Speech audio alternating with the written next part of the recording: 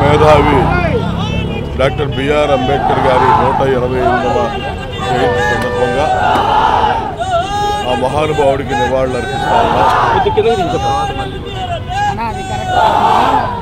భారత జాతి ఔన్నత్యాన్ని దశ దిశలా చాటినటువంటి మహామేధావి డాక్టర్ బిఆర్ అంబేద్కర్.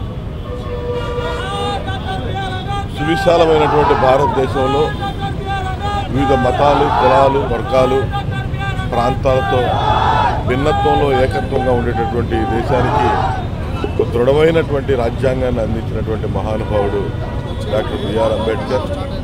సమాజంలో ఉన్నటువంటి న్యూనతా భావాన్ని ప్రజల్లో ఉన్నటువంటి న్యూనతని అంటరానితనాన్ని నిర్మూలించడానికి అహర్నిశలు కృషి చేసినటువంటి వ్యక్తి డాక్టర్ బిఆర్ అంబేద్కర్.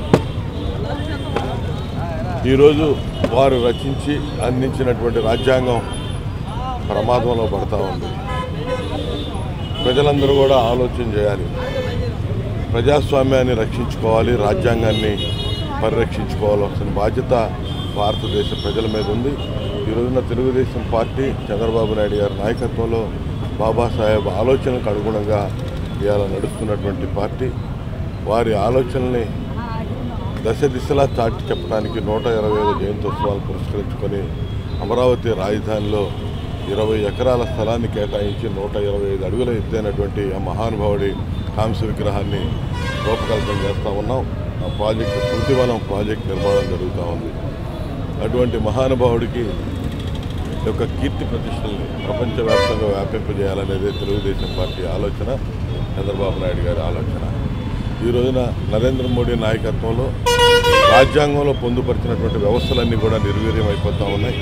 అవన్నీ కూడా అప్రజాస్వామికంగా మరి వాటన్నిటినీ గుప్పెట పట్టి వాటి విధుల్ని ఆటంకం చేసి ఆడిస్తున్నటువంటి నరేంద్ర మోడీ ప్రభుత్వానికి వ్యతిరేకంగా ప్రజలందరూ కూడా తిరగబడాల్సిన సమయం ఆసన్నమైంది ఇవాళ ఐటీ కానీ ఈడీ కానీ సిబిఐ కానీ చివరికి ఎన్నికల కమిషన్ కూడా స్వతంత్రంగా వ్యవహరించాల్సినటువంటి ఎన్నికల కమిషన్ భారతదేశంలో ప్రజాస్వామ్యానికి పట్టుబొమ్మగా నిలబడే ఈ ఎన్నికలు.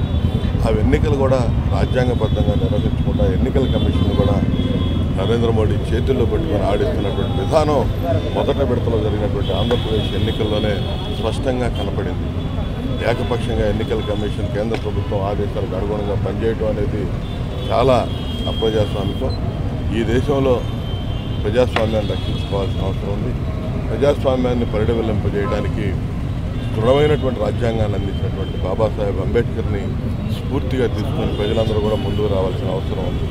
మరొకసారి కనుక ఈ నరేంద్ర మోడీ లాంటి ఫాసిస్ట్ శక్తులు వారిని సపోర్ట్ చేస్తున్నటువంటి జగన్మోహన్ రెడ్డి లాంటి వ్యక్తులు అధికారం యొక్క వస్తే ఏ విధంగా పరిస్థితులు ఉంటాయనేది ప్రజలు అర్థం చేసుకోవాల్సిన అవసరం ఉంది. ఇవాళ ప్రజాస్వామ్యం మనగలిగే పరిస్థితిలో లేదు రాబోయే రోజుల్లో. రాజ్యాంగాన్ని కూడా వీళ్ళు చంపేస్తారనే అనుమానం వస్తుంది. ప్రజాస్వామ్యాన్ని కూనీ చేస్తారు రాజ్యాంగాన్ని కూనీ చేస్తారు. ఖచ్చితంగా ఇటువంటి శక్తుల పట్ల అప్రమత్తంగా ఉండాల్సిన అవసరం ఉంది. అప్రమత్తంగా ఉండి ప్రజాస్వామ్యాన్ని రక్షించుకోవాలని రాజ్యాంగాన్ని పరిరక్షించాలని ఈ రోజున అదే ఇటువంటి మహా మహనీయుడికి డాక్టర్ బిఆర్ అంబేద్కర్ గారికి మనం నిజమైన నివాళులు అర్పించినట్లు అవుతుందని చెప్పి ఈ నూట ఇరవై ఎనిమిదో జయంతి సందర్భంగా ప్రజలకి నేను